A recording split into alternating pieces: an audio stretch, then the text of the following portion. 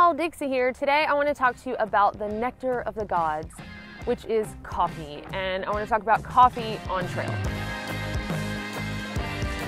And this is like a perfect day for talking about coffee on trail because it's like gross and misty and that's my favorite type of morning to sit and have a hot cup of coffee. Now I know a lot of you probably think that instant coffee is like the only way to go on trail. While it is probably the lightest and most convenient form of having coffee on trail, it isn't the only um, reasonable option. You know, there, there are some other options that I'll talk about today. But to get started, I am going to cover instant coffee because that is what I chose to do on trail. Now, you can do instant coffee, whether you're doing uh, stoveless or you're planning to carry a stove. So, um, instant coffee will mix up with water okay um, if you just need that, you know, fix uh, whether you have it with hot water or cold water. Myself, I carried a stove, so I like to have a warm cup of coffee. It just was like liquid motivation in the morning for me. So, what I would do is just boil eight ounces of water and dump my little instant coffee packet into my cup. And then I don't necessarily love black coffee. I will do that to get my coffee fix, um, but I prefer to mix it with something. My mixer of choice is Carnation Breakfast Essentials for On Trail. Uh, some of the towns that you might go through if you're doing a through hike won't necessarily have that option. I mean, sometimes you're resupplying at a general store or even a gas station. So while they might not have breakfast essentials, you might uh, be able to find some hot chocolate to mix it with. If you're going on a shorter hike, like a section hike or you know you're out for a few days something like that you will be able to you know carry whatever you choose to carry from home but um, and on a through hike you can always send yourself some of this stuff ahead. It's just me personally i don't like going through all that trouble so i just deal with what i can find along the trail. My all-time favorite mixer is powdered milk and honey. Because in normal life i like to put milk and honey and like a dash of cinnamon. Um, so on trail, I really love if I can emulate that. Now, honey can be a little heavy, so what I would do is to justify carrying that much weight, I would try to implement it into other stuff, so my food, or maybe I would carry herbal tea also to have in the evenings. But for lunch, maybe in the stretch where I carried honey, I'd have some tortilla and peanut butter and honey um, for lunch and or dinner. Now in instances where I was trying to do as many miles as I could in a stretch as fast as I could or say like the 24 hour challenge, then I would still carry the instant coffee, still some of the same mixers, and I just put it in like a Gatorade bottle or something like that and shake it up with some water and while it was cold and not as tasty to me, you can still have coffee even if you're gonna go stoveless. Some of the common little instant coffee packets that you might find along the way are gonna be like Taster's Choice or Folgers. Those aren't the greatest. You might come across some Starbucks Vias in some of the larger towns that you go to. Again, this is stuff that you can send yourself ahead if you're going to be through hiking.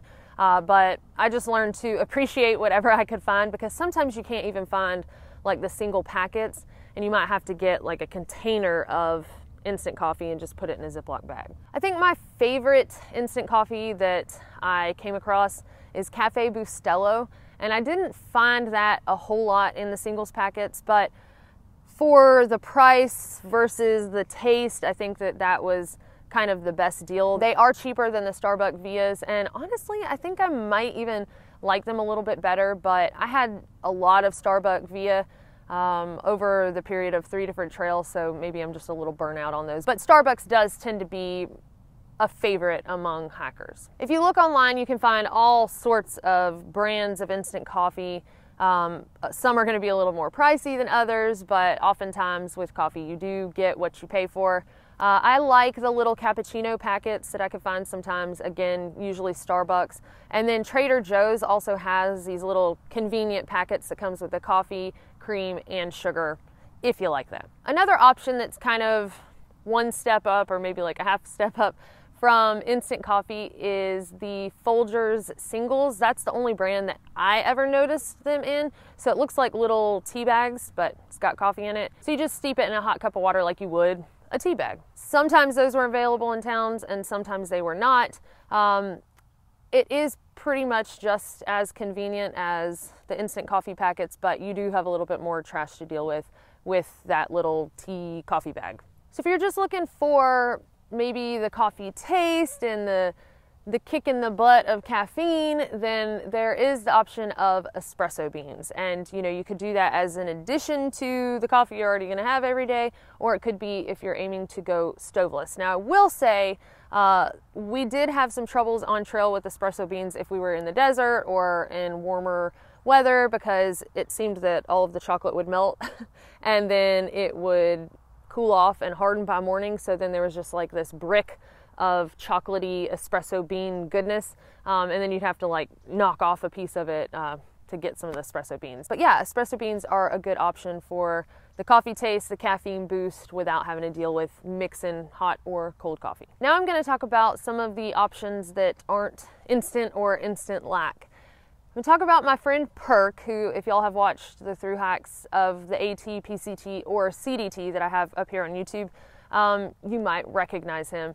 I met him on the Appalachian Trail, and his trail name is Perk because he carried a percolator. Now, this is a great way to have coffee and make friends while you're through hiking, and on a larger trail like the AT, it, it makes more sense. So he would oftentimes make some coffee on the fire in the mornings and then share it with everybody. Now, he carried a percolator, um, which is a lot heavier than most people want to have in a luxury item, especially for coffee. But it is an idea if you love coffee and um, you like the idea of the percolator. Uh, he used an aluminum percolator. He never did weigh it, but it was not an enameled one. You know, it was just like the plain aluminum. So it was pretty light in the world of percolators. On the PCT, Perk decided to step it up a notch and he went with the AeroPress, which he says with the little metal screen that you can get like third party. I guess the AeroPress company does not actually sell it, they just sell filters. Um, so he used a little metal screen thing so he could use it over and over and over. Um, and with that screen and the AeroPress itself, he said it was seven ounces. So lighter than the percolator, I'm sure. Um, still a little heavy, but again, if you are really into coffee and you want a good cup of coffee, the AeroPress was amazing. Perk did say that when he originally started out with the filters, if you are careful with them and dry them out, he said he could get about four uses out of one of the little filters. So just something to think about if um, if you don't want to get the the metal screen and you're wanting to use the paper filters. Perk said that his favorite coffee to make in the AeroPress, like he tried several different uh, types of coffee. He tried several different temperatures, and he said that the perfect setup, in his opinion, for the AeroPress for coffee on trail is to get Cafe Bustelo coffee grounds and to have the water at 185 degrees. And I, I'm serious, he carried a thermometer and tested and, you know, tried to figure out um, the level of acidity and everything um, with temperature and just what kind of gave the best taste. So that's what he said was the best setup. And Perk says even though you've got the extra contraption, the AeroPress is actually pretty easy to clean up. If you wanted to not carry a pot and a mug, he carried a titanium mug that he would just heat water with. And if you were gonna fix only like backpacker meals or um, you were gonna cook in Ziploc freezer bags, that you could get by with just having the mug with the AeroPress. So you would just heat up your water and then pour it in and then pressure coffee into that same titanium mug. So just an option if um, because you're carrying a little bit of extra weight with the AeroPress, you don't also want to carry a mug and a pot. And I guess you could just carry the pot and um, not the mug and, and, drink out of the pot. So options. And on the CDT for science, Perk decided to try something different and he went with a pour over method. He used a little pour over device. It was the GSI brand. He got it at REI. The pour over weighed less than an ounce. I think it was like 0.4 ounces. It's got three little legs that attach to whatever your mug of choice is. I like to use the Sea to Summit. Perk uses a titanium mug. Um, but anyway, the little legs attach to the top of your cup and then in the mesh cup that's above your cup, you put the coffee grounds and then pour hot water over it. Now, Perk also tried to see if it gave like a faster flow rate. He tried uh, boiling water and mixing the coffee grounds and then pouring that slurry mixture into the pour over and just to see if it would go any faster and he found that it did not. Now with the pour over method I found that the coffee was a good bit colder by the time it finally filtered through. And for myself, having a warm cup of coffee is half the reason that I'm doing it. So um, I didn't necessarily love that about it, but it was still good, and to me, it still tasted better than instant. So, to kind of compare and contrast the three different methods that Perk used, um, I think that my favorite of those three would be the AeroPress because it seemed to take a little bit less time than the percolator and also definitely the pour over. And so, if I was going to go with something other than instant, that is what I would choose. Um, it does obviously take a little bit longer than instant, but Perk said that the AeroPress was real easy to clean out, so it wasn't that part that took a while. It was more of the setup beforehand.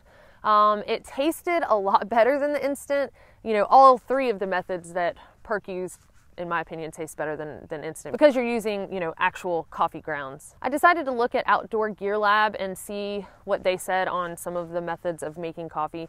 And they actually had the AeroPress on there as a top pick. They said that the taste just was not rivaled by any other method. Now, they mentioned some pour over methods. Those might be better, you know, have a faster flow rate. I don't know. I've never uh, tried those. All of these different contraptions I've talked about today, I will put a link to in the video details. So if you want to learn more about any of these, um, you can find them there. I personally will continue to go with instant just because um, it's easy and to me it's not worth the weight of having seven extra ounces for the AeroPress. But if I was to try something else, that's probably what I would go with. I'm sure that you could take a poll of like a hundred different hackers and they would all have different preferred types of coffee, ways to make it, and you know, probably nobody would agree exactly with another person. So I'd love for y'all to share what your preference of coffee is, the way you like to fix it, what brands you like, if you've even done like perk and figured out temperatures that work well, please feel free to share all of that in the comments below. And that is all I have for y'all today.